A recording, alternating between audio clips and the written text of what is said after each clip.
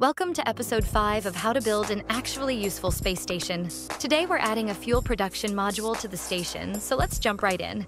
I start with a large 2.5 meter probe core and immediately add the large docking port on the top.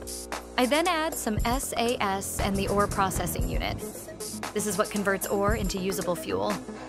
Below this, I add a few large ore tanks for storage, and then a large RCS tank. After that, I can add the bottom docking port and some thrusters. Importantly, you need to add some radiators or thermal control units near the ore processor. This is because it has a tendency to overheat and explode, and these radiators will prevent that from happening. After adding a battery and some small solar panels, this module is ready.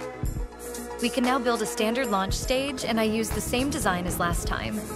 The only difference is, I realize our Delta V is falling short, so I add some side boosters. But just like that, we're ready to launch. Now the launch process should seem pretty standard at this point. We wait until we pass under the station's orbit, and then we launch into its plane. The only difference this time is that I find myself running short on Delta V. That's what I get for not using a 3.5 meter launch stage. Thankfully, I can use the final bit of my fuel to deorbit the upper stage and actually complete the rendezvous using RCS, even if it means overshooting a little bit.